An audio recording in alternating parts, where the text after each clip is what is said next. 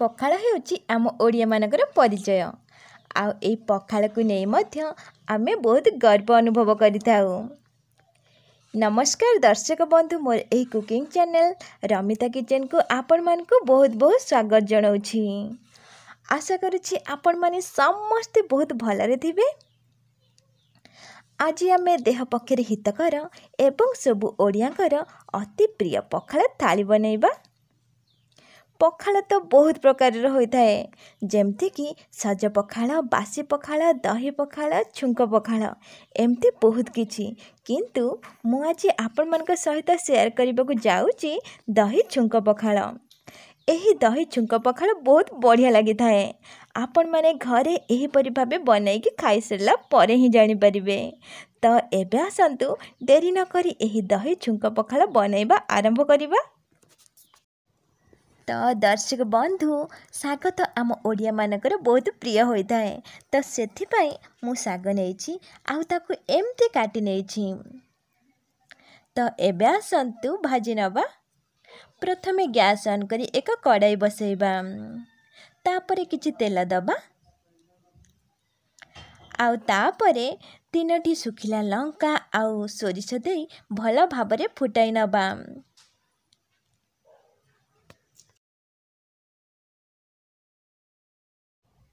ସୋରିଷ ଫୁଟିଗଲା ପରେ ଶାଗକୁ ଦେଇ ତାକୁ ଭାଜିବା ଆରମ୍ଭ କରିବା।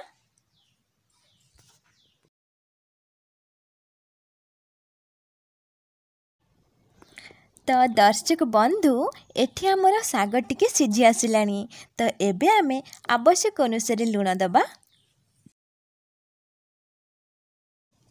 ଲୁଣ ଦେଇ କିଛି ସମୟ ଭାଜି ନେଲା ପରେ ଏଠି ଆମର ଶାଗ ବିଲକୁଲ ରେଡ଼ି ହୋଇଗଲା। ତ ଏବେ ଆସନ୍ତୁ ଏହାକୁ ସାଇଡ଼୍ କରିବା ଏବଂ ନେକ୍ସଟ ପ୍ରୋସେସ୍କୁ ଯିବା। ତ ଦର୍ଶକ ବନ୍ଧୁ ଏବେ ଆମେ ଅଣ୍ଡା ଭଜା ପ୍ରସ୍ତୁତ କରିବା। ମୁଁ ଏଠି ଦୁଇଟା ଅଣ୍ଡା ନେଇଛି। ଆପଣ ଚାହିଁଲେ ଅଧିକ ଅଣ୍ଡା ମଧ୍ୟ ନେଇପାରିବେ। ତ ଏବେ ଆସନ୍ତୁ ପ୍ରସ୍ତୁତ କରିବା। ଦର୍ଶକ ବନ୍ଧୁ ମୁଁ ଏଠି ଅଣ୍ଡାକୁ ଭାଜିକି ନେଉଛି।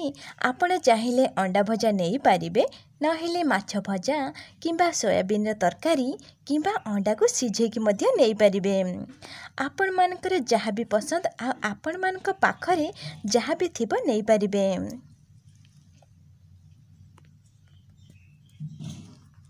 ତ ଏବେ ଏଇଟା ଆମର ହେଇଗଲା। ତ ଏବେ ଆସନ୍ତୁ ଏହାକୁ ସାଇଡ଼୍ କରିବା ଏବଂ ଅଲଗା କିଛି ଭାଜି ନେବା ତ ଏବେ ଆମେ ଭେଣ୍ଡି ଆଉ ଆଳୁ ଭଜା ପ୍ରସ୍ତୁତ କରିବା। ୟା ବଦଳରେ ଆପଣମାନେ ପୋଟଳ ଭଜା କଲରା ଭଜା କିମ୍ବା କୁନ୍ଦୁରି ଭଜା ମଧ୍ୟ ନେଇପାରିବେ।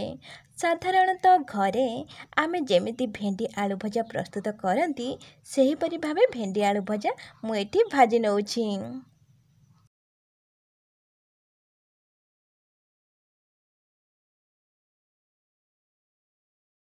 ତ ଦର୍ଶକ ବନ୍ଧୁ ଏବେ ଏଇଟା ହୋଇଗଲା। ତ ଏବେ ଆସନ୍ତୁ ଏହାକୁ ବାହାର କରି ନେବା।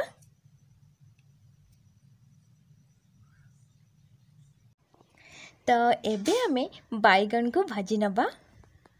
ମୁଁ ଏଠି ଦୁଇଟା ବାଇଗଣ ନେଇଛି। ଆପଣଙ୍କର ଯେତିକି ବି ବାଇଗଣ ଦରକାର ନେଇପାରିବେ। ତ ଦର୍ଶକ ବନ୍ଧୁ ଯେଉଁଦିନ ପୋଡ଼ାପୋଡ଼ି କିଛି ଖାଇ ନ ହେବ ତ ସେହିଦିନ ତେଲରେ ଏମିତି ଭାଜିକି ଆପଣମାନେ ଆରାମସେ ୟାକୁ ଖାଇପାରିବେ। ଆଉ ଯେଉଁଟାକି ଆମ ଘରେ ପ୍ରାୟ ଟାଇମ୍ ମୋ ବୋଉ ବନେଇକି ଆମକୁ ଖାଇବା ପାଇଁ ଦେଇଥାଏ। ଆଉ ଯେଉଁଟାକି ମୋର ବହୁତ ପସନ୍ଦ। ତ ବାଇଗଣ ସିଝିବା ପାଇଁ କିଛି ସମୟ କଭର କରି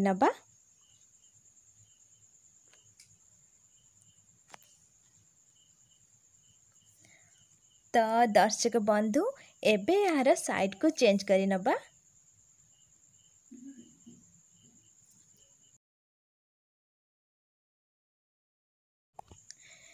ତ ଏବେ ଆମର ସବୁ ବାଇଗଣ ପୁରା ଭଲ ଭାବରେ ସିଝି ହୋଇ ତା'ର କଲର୍ ପୁରା ଚେଞ୍ଜ ହୋଇସାରିଛି। ତ ଏବେ ଆସନ୍ତୁ ଏହାକୁ ବାହାର କରି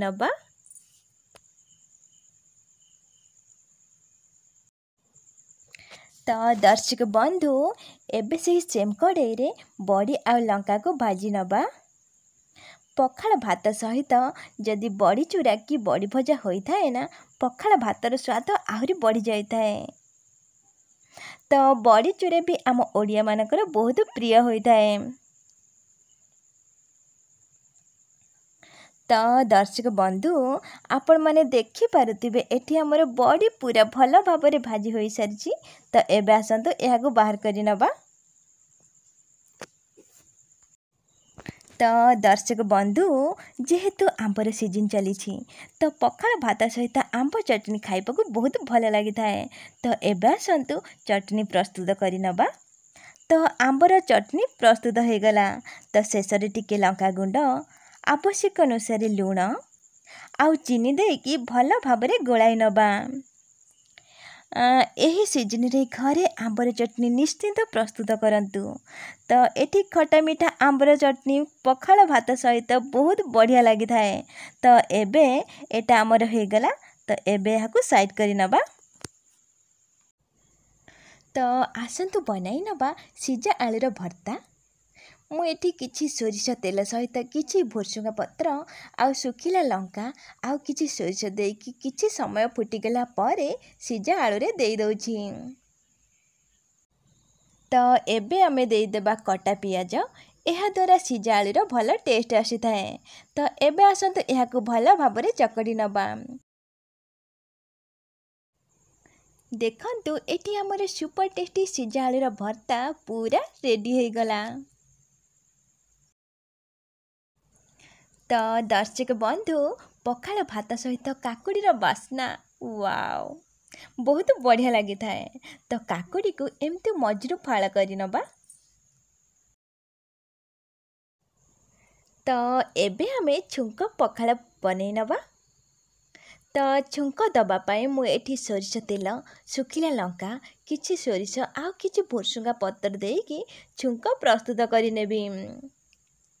ଗ୍ୟାସ୍ର ଫ୍ଲେମ୍କୁ ମୁଁ ଏଠି ଲୋରେ ରଖିଛି। ତ ଏବେ ୟାକୁ ଟିକେ ଭାଜି ନେବା। ଦେଖନ୍ତୁ ଛୁଙ୍କ ପଖାଳ ବନେଇବା ପାଇଁ ଆମର ଏହି ତଟକା ପୁରା ପ୍ରସ୍ତୁତ ହୋଇଗଲା। ତ ଦର୍ଶକ ବନ୍ଧୁ ଏଠି ଆମର ପଖାଳ ଥାଳିକୁ ମୁଁ ସଜାଇ ନେଇଛି ବାକି ରହିଗଲା ଦହି ଆଉ ଛୁଙ୍କ। ତ ଏବେ ଆମେ ପଖାଳରେ ଦେଇଦେବା କିଛି ଦହି।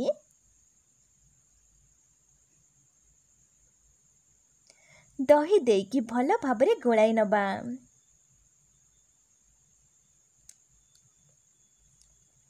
ତ ଏବେ ଆମେ ଦେଇଦେବା ସ୍ୱାଦ ଅନୁସାରେ ଲୁଣ।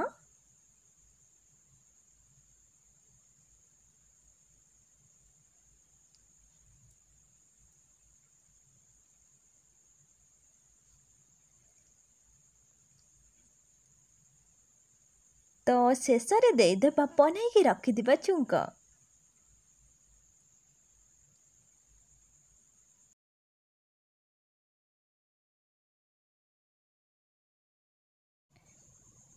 ଯେହେତୁ ଏଇଟା ଆମ୍ବର ସିଜନ୍ ଚାଲିଛି ପଖାଳ ଭାତ ସହିତ ପାଚିଲା ଆମ୍ବର ସ୍ୱାଦ ଟିକେ ନିଆରା।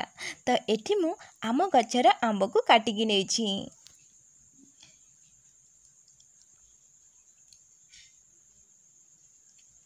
ଦେଖନ୍ତୁ ଏଠି ଆମର ଦହି ଛୁଙ୍କ ପଖାଳର କମ୍ପ୍ଲିଟ୍ ଥାଳି ପୁରା ରେଡ଼ି ହୋଇଗଲା। ଛୁଙ୍କ ଦହି ପଖାଳ ସହିତ ମୁଁ ନେଇଛି ସିଝା ଆଳୁର ଭର୍ତ୍ତା ଆଉ ଅଣ୍ଡା ଭଜା ତା ସହିତ ଆମ ଓଡ଼ିଆମାନଙ୍କର ଅତି ପ୍ରିୟ ଶାଗ ଭଜା ଆଉ ତା ସହିତ ଭେଣ୍ଡି ଆଳୁର ଭଜା ଆଉ ମୋର ଫେଭରେଟ୍ ତେଲରେ ଭଜା ହୋଇଥିବା ବାଇଗଣ ଆଉ ବଡ଼ି ଆଉ ତା ସହିତ କଞ୍ଚା ଆମ୍ବର ଖଟା ମିଠା ଚଟଣି ଆଉ ଫାଳେ କାକୁଡ଼ି ପାଚିଲା ଆମ୍ବ ଆଉ ଶେଷରେ ଦୁଇଟା ପାମ୍ପଡ଼। ତ ଦର୍ଶକ ବନ୍ଧୁ ଆପଣମାନେ ଦେଖିପାରୁଥିବେ ଏଠି ଆମର ଦହି ଛୁଙ୍କ ପଖାଳର କମ୍ପ୍ଲିଟ୍ ଥାଳି ପୁରା ରେଡ଼ି ହୋଇଗଲା। ତ ଦର୍ଶକ ବନ୍ଧୁ ଏହି ଖରା ଦିନରେ ଏହିପରି ଛୁଙ୍କ ଦହି ପଖାଳ ଘରେ ଥରେ ନିଶ୍ଚିତ ପ୍ରସ୍ତୁତ କରନ୍ତୁ। ଆଉ ଘରେ ବାପା ମା ଭାଇ ଭଉଣୀ ଜେଜେବାପା ଜେଜେମା ଆଉ କୁନି କୁନି ପିଲାମାନଙ୍କୁ ଖାଇବାକୁ ଦିଅନ୍ତୁ। ଆଉ ଦେଖିବେ ସମସ୍ତେ ବହୁତ ପ୍ରଶଂସା କରିବେ ଆପଣଙ୍କୁ। ମୁଁ ତ ଏହିପରି ଭାବେ ଘରେ ଦହି ଛୁଙ୍କ ପଖାଳ ପ୍ରସ୍ତୁତ କରି ସମସ୍ତଙ୍କୁ ଖାଇବାକୁ ଦେଇଥିଲି। ସତରେ ସମସ୍ତେ ବହୁତ ପ୍ରଶଂସା ମଧ୍ୟ କରିଥିଲେ। ତ ଆପଣମାନେ ବି ଏହିପରି ଭାବେ ଦହି ଛୁଙ୍କ ପଖାଳ ଘରେ ଥରେ ନିଶ୍ଚିତ ଟ୍ରାଏ କରନ୍ତୁ। ଆଉ ବନେଇ ସାରିଲା ପରେ କେମିତି ଲାଗିଲା ମୋତେ ନିଶ୍ଚିତ କମେଣ୍ଟ ସେକ୍ସନରେ ଜଣାଇବାକୁ ଭୁଲନ୍ତୁନି।